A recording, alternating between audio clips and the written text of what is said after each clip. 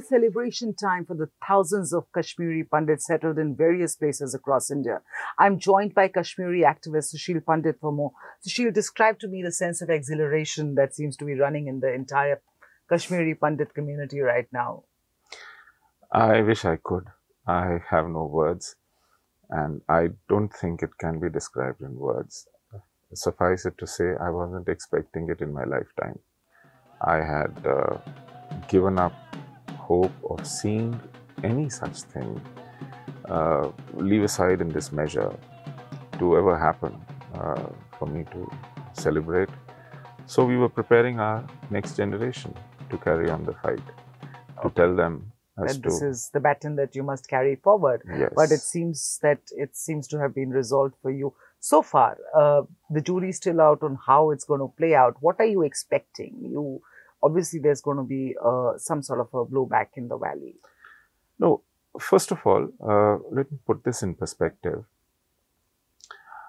I don't think it is a, a reason enough to declare any kind of victory. All our effort uh, towards repeal of 370 was to somehow make this nation acknowledge the fact that there is a war declared on us Right. we were in denial.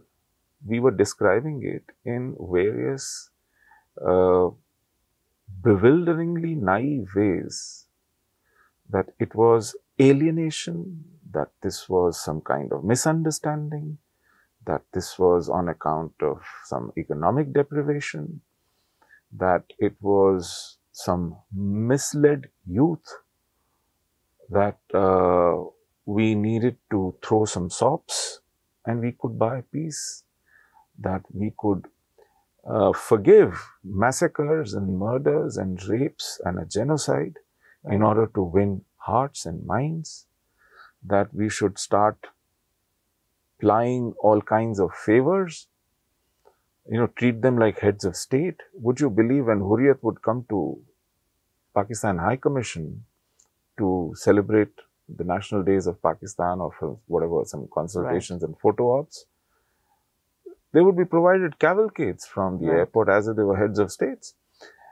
They were treated for their ailments across the world. They had passports and visas to go wherever they pleased. They could go to Pakistan, marry there, bring home women, raise families.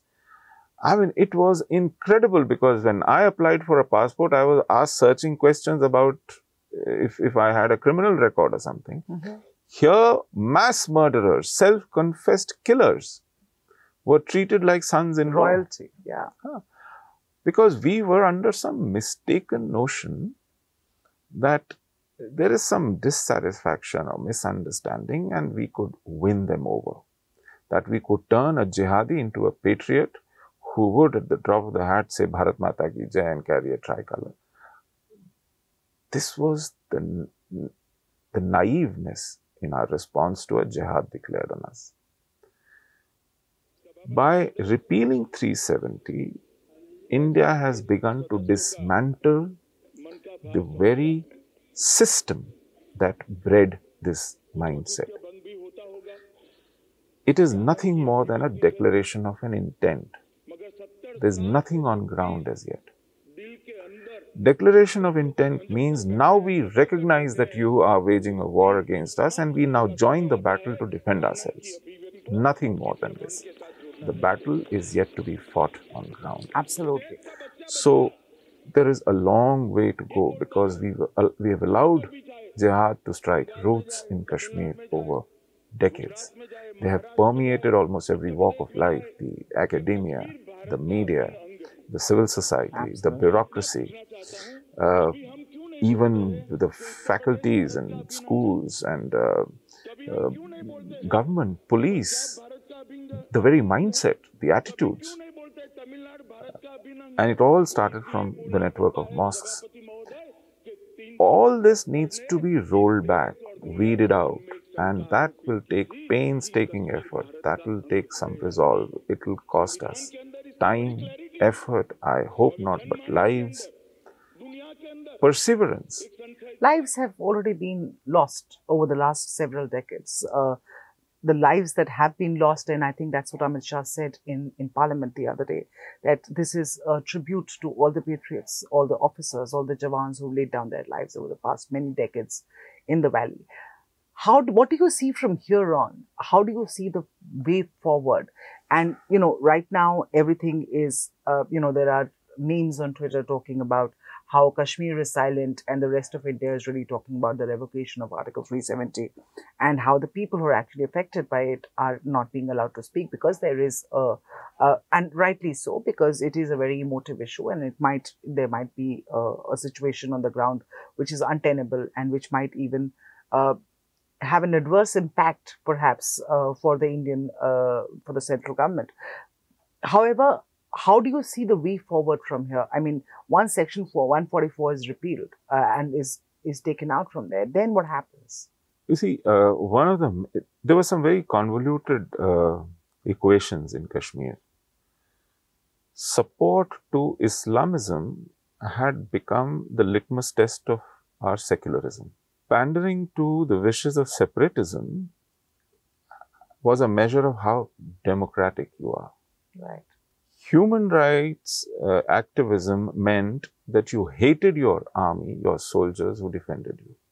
These were the perversions prevailing in Kashmir and that led to their capture of the street, the public places. Mm -hmm.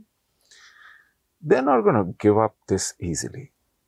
Government has taken preemptive measures, protective measures to contain the reaction to this, not because the entire state or the valley has been swamped by these people, but they dominate thanks to the arms they have, thanks to an extremely aggressive network that they have created.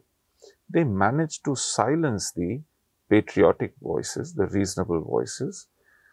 And, and the voices who want peace. Who want peace, who want to be with India, who are reasonable about what options do they have when they look around right. thousands of kilometers from Kashmir in any direction, you have nothing but despair, wilderness. Mm-hmm. We are a thriving democracy with great constitution, rights ensured.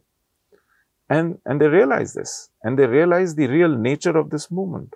We need to defang this aspect of militarized, ideologically poisoned, venomous uh, movement for that, a certain uh, set of restrictions will have to continue for some time and they'll have to gradually uh, taken off, making sure that they don't go out of hand. Because the first responsibility, the primary duty of any state is to ensure order, ensure calm, protect lives and protect properties. Towards that, whatever needs to be done should be done and the state must show its resolve. Any mischief. I remember when in 1990 we had to flee Kashmir. If even a fraction of this kind of preventive measures were in, were place, in place, we wouldn't have fled our homes. We would still be living there. But the then Home Minister of India was Mufti Muhammad Saeed. The then Chief Minister of Kashmir was Farooq Abdullah. Uh, army was sitting in the cantonment of Badami Bagh, but they didn't have instructions. The police had fled the posts, and it was uh, absolutely open field for jihadis to go for us. Now, that shouldn't be repeated. The, the authority of the state should be felt, and miscreants should be made mindful of the consequences of their mischief that they planned.